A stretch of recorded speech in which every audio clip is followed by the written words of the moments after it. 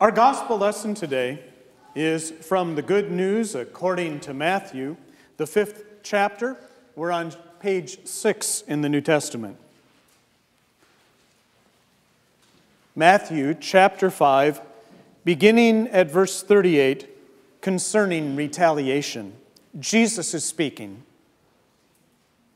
You have heard that it was said, an eye for an eye and a tooth for a tooth. But I say to you, do not resist an evildoer, but if anyone strikes you on the right cheek, turn the other also.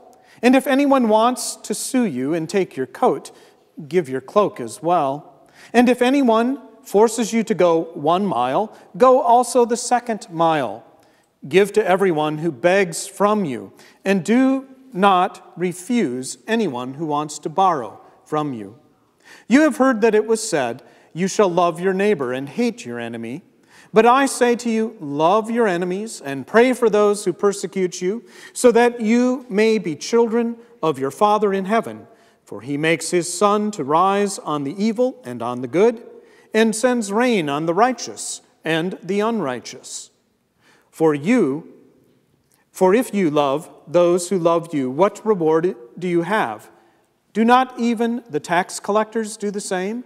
And if you greet only your brothers and sisters, what more are you doing than others? Do not even the Gentiles do the same? Be perfect, therefore, as your heavenly Father is perfect. The Gospel of the Lord. Thanks. Let us pray. Now may the words of my mouth and the meditation of our hearts be acceptable in your sight, O Lord, our strength and our Redeemer. Amen. Today's sermon is going to be more of a verse by verse Bible study, so you're welcome to keep your Bibles open to Matthew, uh, to our gospel lesson if you like, or you can just listen in. Whatever works for you is just fine with me. Before I begin on specifically on our lesson for today, I want to back up just a little bit and remind you of how we got here. A few weeks ago, we started where Jesus starts something that's commonly called the Sermon on the Mount. And just like how Moses had gone up on the mountain and brought down God's law, the Torah, the teaching, so Jesus goes up on this mountain and he begins to teach the law again, but this time in a new way, reinterpreting, uh, raising the bar, if you will. You may recall that we talked about how Jesus says, Blessed are the poor in spirit, blessed are the meek, and so forth. He points out that God blesses those who the world doesn't bless. Things are turned upside down, that this is not what we expect. And then he goes on to preach about you are the salt of the world. You are the light. I was thinking about this that when you think about salt, salt is really best when it's spread around and gives food kind of a boost, zesty flavor. But if there's no food, then the salt is just salt, just saltiness. And I think it's interesting that we had that passage on the day we celebrated Super Bowl Sunday when we thought about world hunger, when we came together to give financial gifts and food gifts. We need to feed the hungry so that we can be that salt, so that we can be that light in the world. Right after that, Jesus starts in with some really hard teaching. He's already kind of set the bar high, as I mentioned, turned things upside down and on their head. But then he goes on to teach about anger and how if you're angry with somebody, that's as bad as if you actually murder them. He goes on to talk about adultery and that if you've thought about that in your heart, that's just as bad as doing the actual action of adultery. He goes on to talk about divorce and not cheapening relationships. And then he says that we shouldn't swear oaths to things. Just say yes, yes, or no, no. We got to the end of that, and, and, and I talked about how our reaction to that is, uh oh, I'm in trouble. I'm not doing what Jesus says I need to do. And today, he raises the ante again. You have heard that it was said, an eye for an eye and a tooth for a tooth.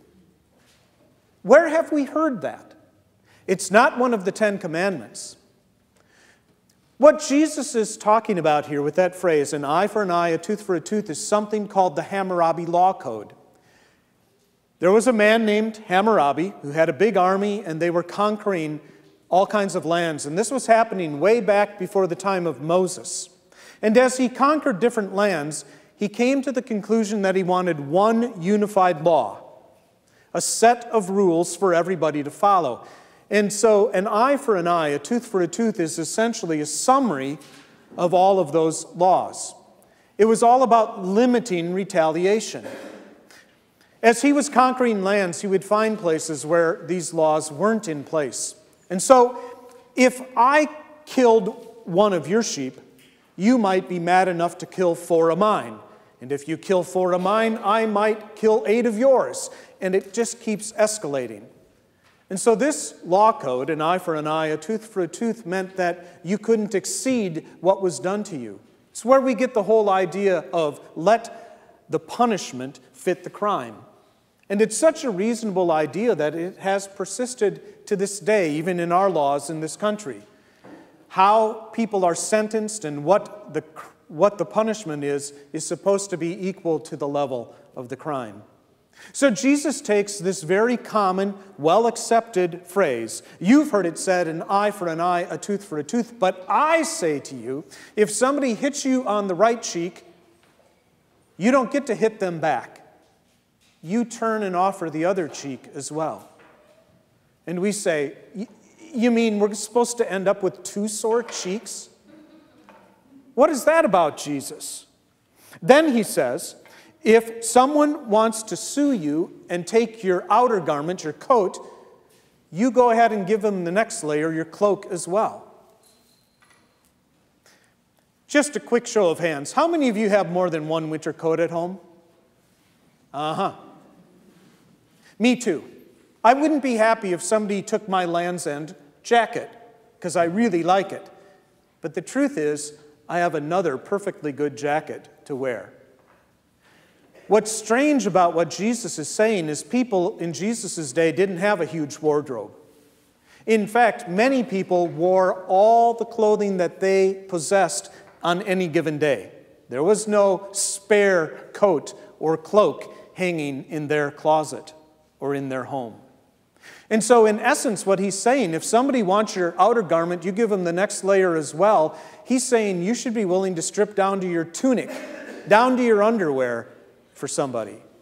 And again, we are like, really? You want us to go that far? And he adds to it.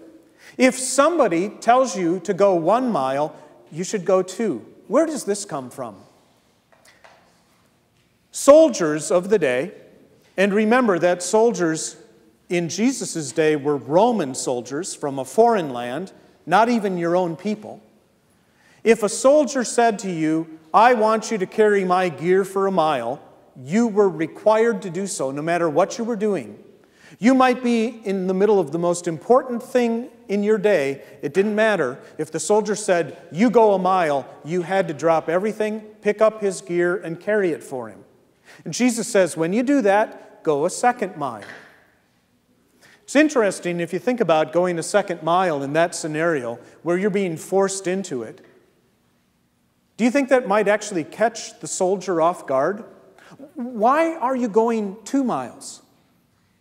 And maybe the conversation could start, well, it's because of the God I know.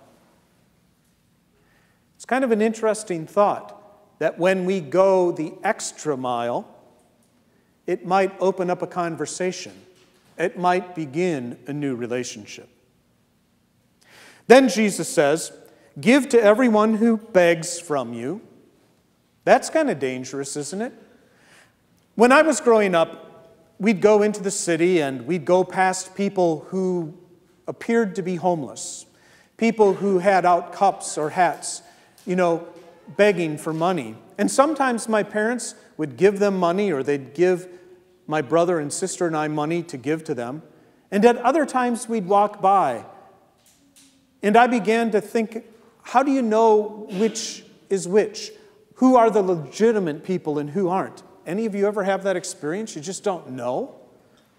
Then he says, Give to anyone or let anyone borrow from you who you want to let borrow from you. And again, is there any guarantee of being paid back? In my family, my dad would say, That's the last time I let your Uncle Jerry borrow anything. He always brings it back broken. So here we are with all of these teachings. And then Jesus adds to it. You've heard that it was said, You shall love your neighbors and hate your enemies. But I say to you, love your enemies and pray for those who persecute you. Huh. I remember the Sunday after 9 11 when the terrorists flew the jets into the Twin Towers and into the Pentagon. And I came to church and I was thinking, Lord, I don't have enough love in my heart to pray for those terrorists today. I remember thinking that. And then I'm amazed at the people who have that on a very personal level. They've experienced something like the murder of a family member. And there are these people who don't seem to harbor any hatred towards that murderer. In fact, I've heard of stories, true stories, of people who go and visit them every day in prison and pray with them and develop a relationship. I just think that's amazing because I don't know if I could do that. And then here comes the bold face type, double exclamation point sentence Be perfect, therefore, as your heavenly Father is perfect. What Jesus has just done here, you know, is shown us the very heart of God. That all of these super, super hard things that he's talked about that we're supposed to do as his followers, he said that's how God is. This is who God is. That God loves those who we don't love. That God is willing to go the extra mile and to turn the other cheek. Something is very important to point out about this phrase for you Be perfect, therefore, as your Father in heaven is perfect. In the English language, we have three tenses we have past, present, and future. In the Greek language, they had additional tenses. They have the past, they have the present, and in between present and future, they have something that's called becoming. It's like a on the way sort of tense. And then, even with the future, they have something that's called the perfect past or the completed past. And so, in this phrase, really what Jesus is saying is start to be made perfect or be on the path to being made perfect as God is already completely perfect. Last week in adult education classes, both in Pastor Amy's class and then in my class, we didn't know we were teaching on the same thing, but we were talking about a big church word called sanctification. And that word simply means that you're being made holy, you're being made pure, you're being separated from that which is evil and other than God. You're on the path. Now, can any of us attain perfection on this side of the grave? No. Scripture even says that. And we talked about that last week that all of us fall short of the glory of God. No one is without sin, no one. And so, what Jesus is talking about is raising this bar, but reminding us that we won't achieve perfection until we reach the end. I got to share with you a personal story about a long time member of Trinity who passed away many years ago. His name was Wilbur Walzer. Some of you maybe would remember Wilbur.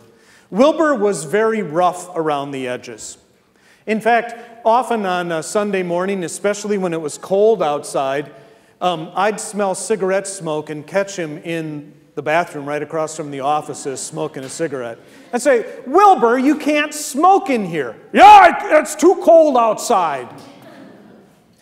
One thing about Wilbur that was great is he'd come in the door and I'd say, Good morning, Wilbur, how are you? Near perfect. Near perfect. So, guess what we preached on at his funeral? Be perfect, therefore, right? Wilbur never attained perfection in this life, but in heaven, He has. Now, you and I have rough edges too. We all have the things that don't measure up. We don't turn the other cheek all the time. We don't go the second mile. We don't love our enemies like we should. And yet, God continues to forgive us as we're on that journey toward perfection, on that journey of sanctification. And so, what I wanted to remind you of today is that with God's grace and mercy, day by day, God walks with us, provides for us, so that we can grow in faith until that day that we are called home and we indeed will be perfect. So, it's a fine answer if someone asks you, Hey, how are you today? Near perfect. In Jesus' name, amen.